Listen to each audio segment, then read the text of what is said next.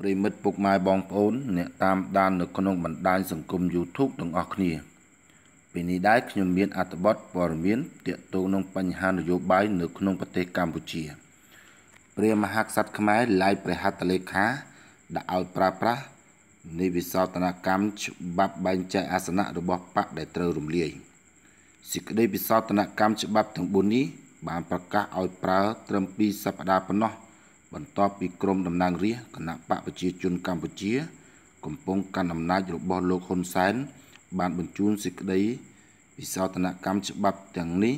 ទៅរដ្ឋសភាកាលពីថ្ងៃទី9ខែតុលានេះព្រះមហាក្សត្រព្រះបាទនរោត្តមសីហមុនី បានសម្រេចឡាយព្រះហត្ថលេខាលើពិសោធនកម្មច្បាប់ចំនួន4ពាក់ព័ន្ធនឹងការបោះឆ្នោតដែលកំណត់ឲ្យមានការបែងចែកអាសនៈរបស់គណៈបកដែលត្រូវរំលាយ ឲ្យទៅគណៈបកផ្សេងទៀតស្របតាមការស្នើសុំរបស់ក្រមតំណាងរាស្ត្រគណៈបកកណ្ដាលអំណាចព្រះរាជក្រមចំនួន4ដែលឡាយព្រះអត្តលេខាដោយព្រះមហាក្សត្រព្រះបាទនរោត្តមសីហមុនី នៅថ្ងៃទី25ខែតុលាឆ្នាំ2017ហើយដែលត្រូវបានផ្សព្វផ្សាយនាល្ងាចថ្ងៃពុធនេះបង្ហាញថា ព្រះមហាក្សត្រ បានឡាយព្រះហត្ថលេខាលើវិសោធនកម្មច្បាប់ចំនួន4រួមមាន ច្បាប់ស្តីពីការបោះឆ្នោតជ្រើសតាំងតំណាងរាស្ត្រច្បាប់ស្តីពីការបោះឆ្នោតជ្រើសតាំងប្រសិទ្ធិច្បាប់ស្តីពីការបោះឆ្នោតជ្រើសតាំងក្រុមប្រឹក្សាឃុំសង្កាត់ និងច្បាប់ស្តីពីបោះឆ្នោតជ្រើសតាំងក្រុមប្រឹក្សារាជធានីក្រុងខេត្តសេចក្តីវិសោធនកម្មច្បាប់ទាំង4នេះ បានប្រកាសឲ្យប្រើប្រាស់ត្រឹមតែ2សប្តាហ៍ប៉ុណ្ណោះបន្ទាប់ពីក្រមតំណាងរាស្ត្រគណៈបកប្រជាជនកម្ពុជា កំពុងកាន់អំណាចរបស់លោកហ៊ុនសែនបានបញ្ជូនសេចក្តីពិសោធនកម្មច្បាប់ទាំងនេះ ទៅរដ្ឋសភា កាលពីថ្ងៃទី9ខែតុលានេះក្រោយមករដ្ឋសភាព្រឹទ្ធសភានិងក្រមប្រឹក្សាធម្មនុញ្ញបានអនុម័តជាបន្តបន្ទាប់យ៉ាងប្រញាប់ប្រញាល់ដោយគ្មានការចូលរួមពីគណៈបកប្រឆាំង និងដោយគ្មានការពិភាក្សាក្រោយពីការឡៃព្រះហត្ថលេខារបស់ព្រះមហាក្សត្រប្រកាសឲ្យប្រើជាប្រញាប់ប្រញាល់ទាំង4នេះ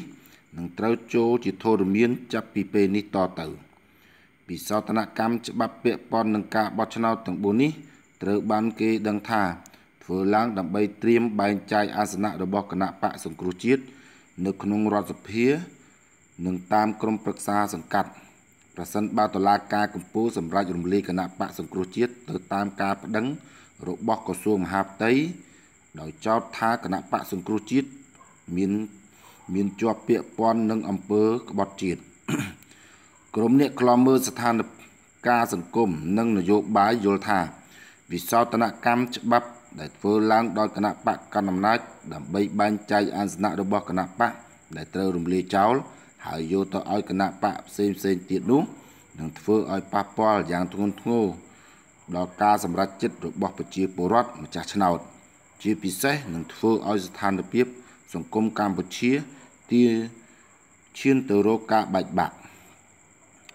អង្គការសង្គមស៊ីវិលស្ថាប័នជាតិអន្តរជាតិជាច្រើនក៏បានរិះគន់រាជរដ្ឋាភិបាលលោកហ៊ុនសែនជំវិញការត្រៀមរំលាយគណៈបកប្រឆាំងថា ការនេះនឹងធ្វើឲ្យធ្វើដំណើរការលទ្ធិប្រជាធិបតេយ្យនៅកម្ពុជាឈានទៅរកភាពខ្ទេចខ្ទីហើយថាការរំលាយគណៈបកប្រឆាំងដែលមានអ្នកគ្រប់គ្រងជាង40%ទូទាំងប្រទេសនឹងជះឥទ្ធិពលដល់ដំណើរការបោះឆ្នោតក្នុងឆ្នាំ2018ខាងមុខបើទោះជាយ៉ាងណាមន្ត្រីជាន់ខ្ពស់របស់រាជរដ្ឋាភិបាលបានឆ្លើយតបថា ពួកគេមិនយកចិត្តទុកដាក់ចំពោះការរិះគន់ឬការប្រមានណាមួយនោះទេ ហើយថារាជរដ្ឋាភិបាលកម្ពុជាកំពុងអនុវត្តច្បាប់ស្របតាមប្រទេសនីតិរដ្ឋបាទព័ត៌មានដែលទាក់ទងនឹងបញ្ហានយោបាយនៅក្នុងប្រទេសកម្ពុជានៅពេលនេះសូមបញ្ចប់តែត្រឹមនេះសូមពុកម៉ែបងប្អូនទាំងអស់គ្នា ជួយ Subscribe Channel ខ្ញុំបាទម្នាក់មួយផង ដើម្បីទទួលបានអត្ថបទព័ត៌មានថ្មីជាបន្តទៀត